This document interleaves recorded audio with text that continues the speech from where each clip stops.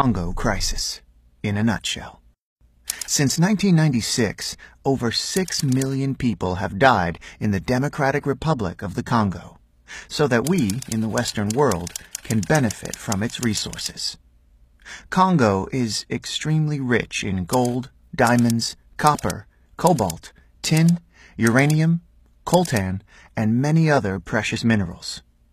Congo has 64% of the Earth's coltan, a precious mineral that is needed for our modern electronics like iPhones, iPads, computers, laptops, PlayStations, Xboxes, Nintendos, jet engines, inkjet printers, and the list goes on and on.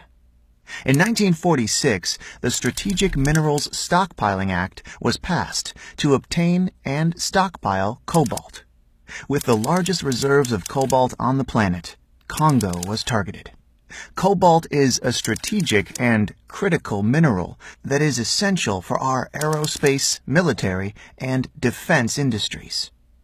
As the United States and the United Kingdom provide financial aid and military aid to countries such as Rwanda and Uganda, these neighboring countries plunder Congo's natural resources as the death toll rises. In four studies, the United Nations implicated multinational companies in sourcing coltan from Congo, stating that these companies serve as the engine of the conflict in the DRC.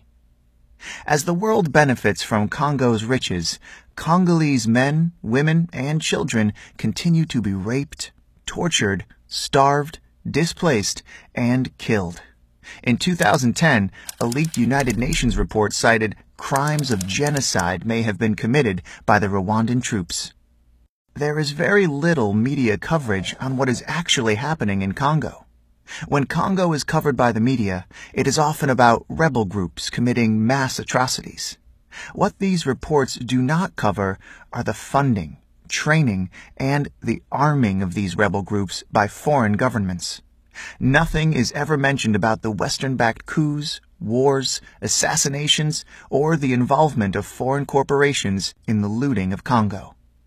48 women are raped every hour. Millions are displaced. Over 6 million dead. Half are children under the age of five.